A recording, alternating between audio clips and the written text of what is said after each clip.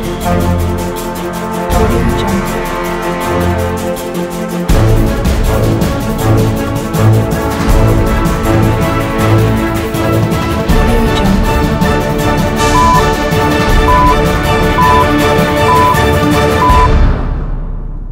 ಜಿಲ್ಲೆಯ ಅಭಿವೃದ್ಧಿ ನನ್ನ ಗುರಿ. ಇನ್ನು ಒಂದು ತಿಂಗಳಲ್ಲಿ ಆನುಗುಳ ಗ್ರಾಮದಿಂದ ಅಶೋಕ್ ನಗರದವರೆಗೆ ಮೈಸೂರು ಅರಸೀಕೆರೆ ರಸ್ತೆ ನವೀಕರಣ ಕಾಮಗಾರಿ ಆರಂಭವಾಗುತ್ತೆ ಅಂತ ರೇಷ್ಮೆ ಮತ್ತು ಕ್ರೀಡೆ ಯುವ ಸಬಲೀಕರಣ ಸಚಿವರಾದ ಕೆಸಿ ನಾರಾಯಣಗೌಡರು ತಿಳಿಸಿದ್ದಾರೆ.